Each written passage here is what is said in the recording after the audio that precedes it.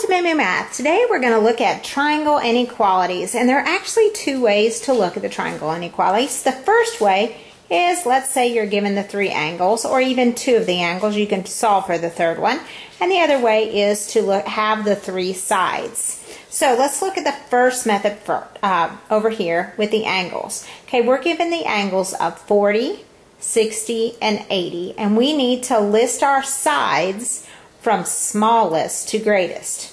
Okay, we already know our smallest angle is 40 degrees. So I'm going to go to my smallest angle and I'm going to go across that triangle. That means that side B is going to be my smallest side because it is opposite my smallest angle. So B is my smallest angle or side.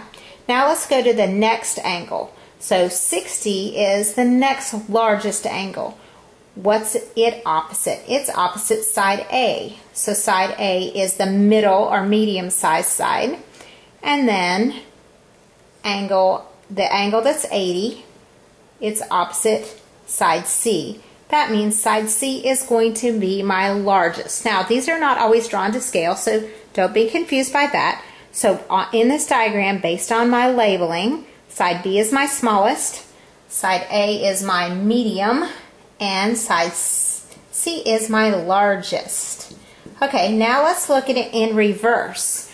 Let's look if you're given the three sides. You do the exact same thing, only going back to the angle. So uh, side 3 is my smallest side, so it's opposite angle B. So angle B is my smallest angle.